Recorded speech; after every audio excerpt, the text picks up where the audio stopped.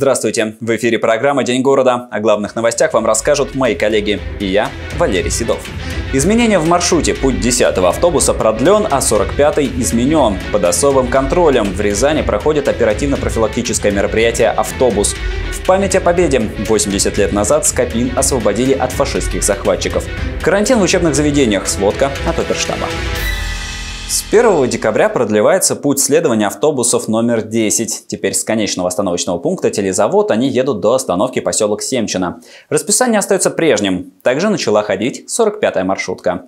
Сейчас идет прием заявок на обслуживание маршрута. В его работу будет внесен ряд изменений. Автобусы станут осуществлять посадку и высадку пассажиров на остановке улица Большая, 90. Сейчас ее обслуживает маршрут 72М. На 45-й маршрут выйдут всего 8 автобусов среднего класса. Они будут следовать от поселка Ворошиловка до микрорайона номер 1 Дашковой песочни. Таким образом, движение маршрута будет организовано через улицы 1 Красная, Октябрьская, Молодцова, Интернациональная, Бирюзова, Северную окружную дорогу, Каширина, Первомайский проспект, Соборная, Соборная площадь, Кремлевский вал, Грибоедова, Площадь Свободы, Улица Свободы, Окский проезд, Кольная, Касимовское шоссе, Большая. Далее в прямом направлении улица Тимакова, Касимовское шоссе, в обратном улица Полевая. Соответствующие изменения внесены в документ планирования постановлением администрации города Рязани. Для рязанцев снова заработает новогоднее уличное телевидение. Об этом сообщает сайт администрации. На улицах города появятся мультимедийные экраны, которые будут транслировать поздравления рязанцев. Новогоднее телевидение начнет транслировать познавательные программы и рубрики «Забавные новости», «Говорит Рязанец», «Новогодний диалог», «Мастерская Деда Мороза», «Квест. Вам вопрос». Кроме того, горожанам покажут отрывки самых любимых новогодних фильмов и мультфильмов, музыкальные номера. Предполагается, что экраны установят в ЦПКИО, в лесопарке и на Лыбецком бульваре. Подобное происходило и в прошлом году. Пассажирские перевозки снова под особым контролем ГИБДД. Очередной рейд под названием «Автобус» призван снизить аварийность на дорогах. О том, как лихачат водители маршруток, роликов в социальных сетях хватает. Да и за свежим примером далеко ходить не надо. Истории, как его обгоняли или подрезали, в избытке у любого водителя. Статистика это только подтверждает. В текущем году в Рязанской области с участием водителей автобусов уже произошло 53 дорожно-транспортных происшествия, в результате которых 8 человек погибли, 123 получили травмы различной степени тяжести. Рейды под названием «Автобус» проводятся регулярно. Инспекторы ГИБДД и сотрудники технадзора работают в команде, проверяют исправность и наличие оборудования в транспортных средствах. Если в автобусе есть незарегистрированные изменения в конструкции, то маршрутку могут просто снять с линии.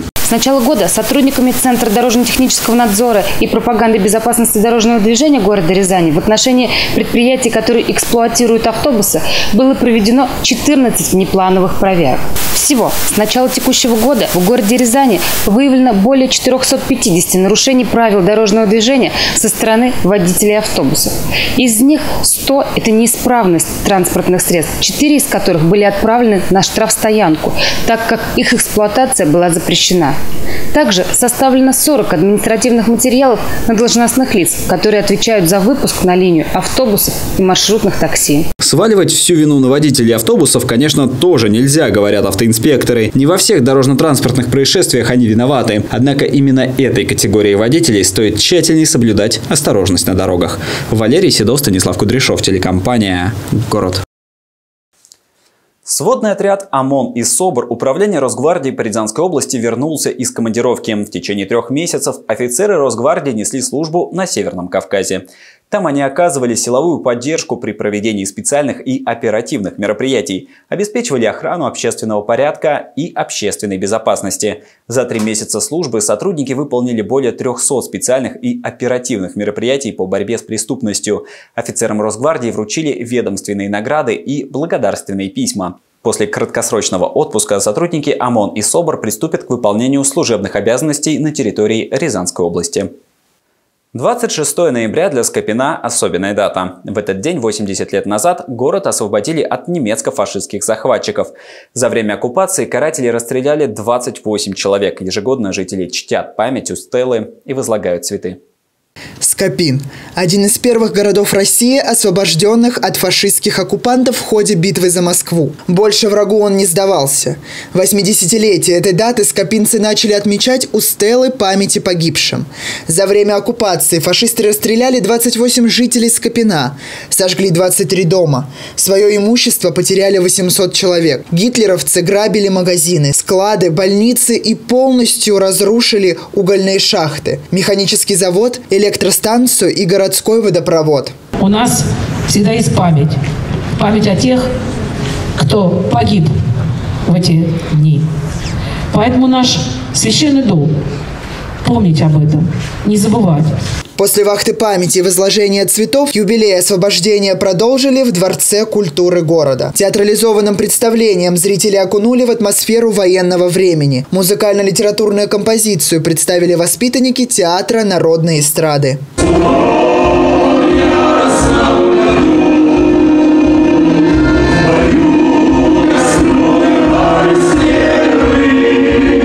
Сразу после оккупации в сентябре 41-го в Скопине из коммунистов и комсомольцев был создан истребительный батальон. Около 700 героев отстаивали родной город.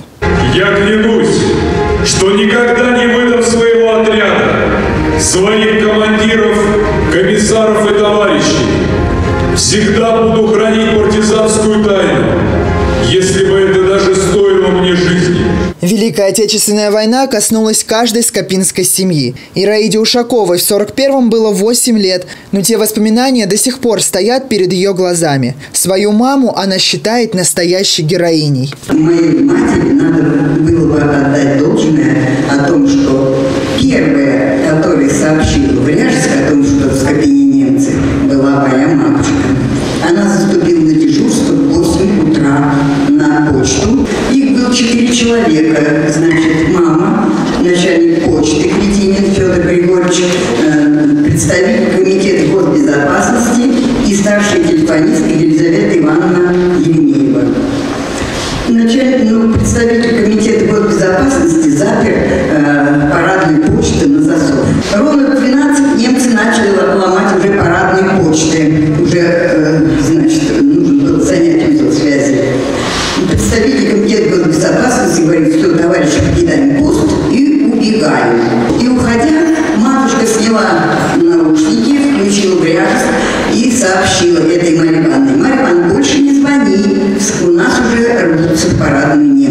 Память погибших во время оккупации почтили минутой молчания, а в сквере Победы в Скопинце встречал местный духовой оркестр с известным во всем мире маршем славянки. Герман Гущин, телекомпания «Город» при содействии телеканала Верда ТВ.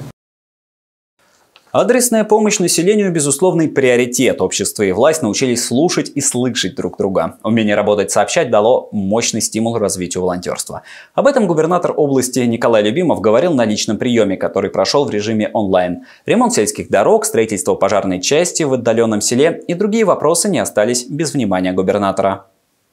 Улица Рабочая для села Казачья Слобода Шацкого района одна из центральных. 1200 метров проходящей здесь автодороги давно требуют ремонта, и он здесь просто необходим. Трасса упирается в социально значимые объекты. На одном конце улицы расположена школа, съезд к школе, к школьному переулку.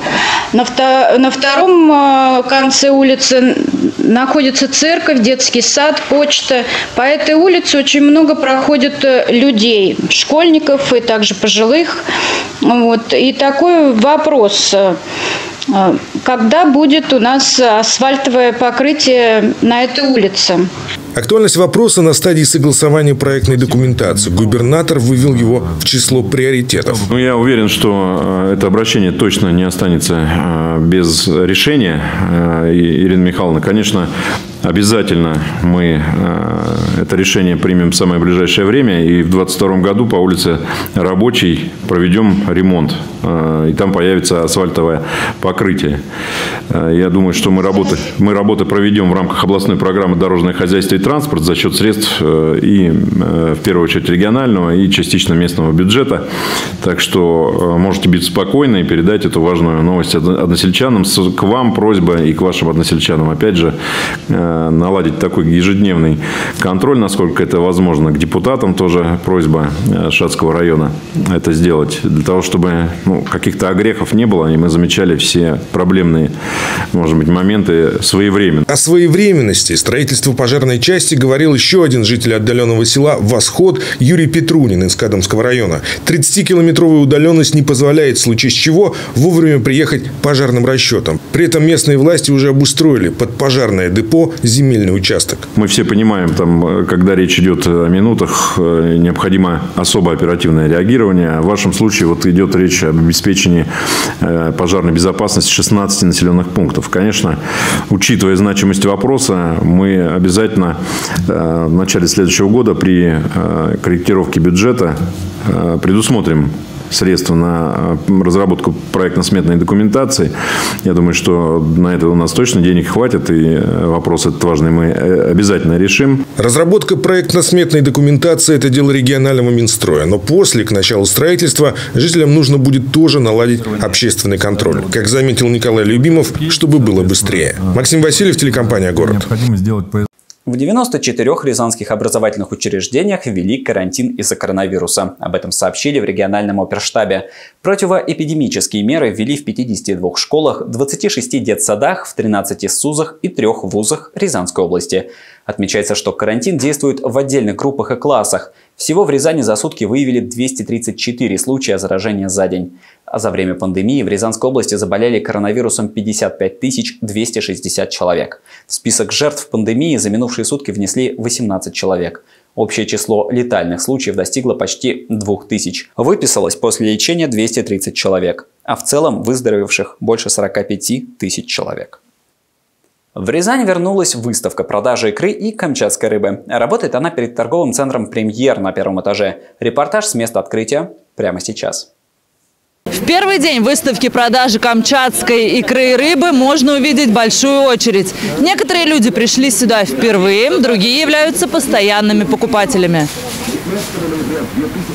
Белорыбицы, палтус, омуль, муксун, чавыча, нерка, зубатка, красная икра и многое другое. На радость ценителям качества и вкуса здесь представлена рыба слабосоленая, горячего и холодного копчения. Весь ассортимент первой свежести, что позволяет сохранять полезные свойства морепродуктов. А их предостаточно. В сочной рыбке много полиненасыщенных жирных кислот, в особенности омеги-3. Кроме того, рыба наполнена витаминами и минералами. Выставка продажи приезжает в Рязань регулярно и уже хорошо зарекомендовала себя среди людей. Мы сами с Михайлова, у нас такого нет.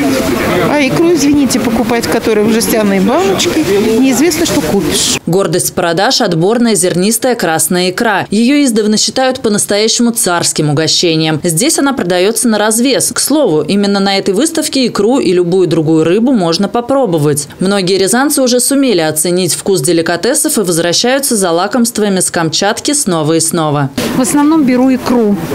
Вот, качественно, хорошая икра. Потом пробовали, сначала брали вот белорыбицу я, чавыча брала. Рыб, конечно, хороший. Я сейчас буду брать икру. Поинтересуюсь у них, можно ли ее заморозить и как ее хранить. И приедут ли они к Новому году еще. Консультанты подсказали, что икру можно спокойно хранить в морозилке. Ее свойства и вкусовые качества будут сохранены. А вот красная рыба может порадовать тех, кто следит за своей фигурой. Ее мясо считается низкокалорийным. Диетологи рекомендуют использовать красную рыбу в диетическом питании. Побаловать себя царскими угощениями можно на этой неделе с 29 ноября до 4 декабря включительно. Выставка продажи расположена у входа в торговый центр «Премьер». Анна Герцовская, Станислав Кудряшов, телекомпания «Город». Это были все новости на данный момент. Еще больше информации вы сможете узнать на нашем сайте город62.тв и в группе в социальных сетях. А на этом я с вами прощаюсь. Хорошего вам вечера и спокойных новостей. До встречи в эфире. С 29 ноября по 4 декабря свежий улов прямо с Камчатки. Чавыча, красная икра, белорыбица. Все от производителя. Уличная площадка торгового центра «Премьер».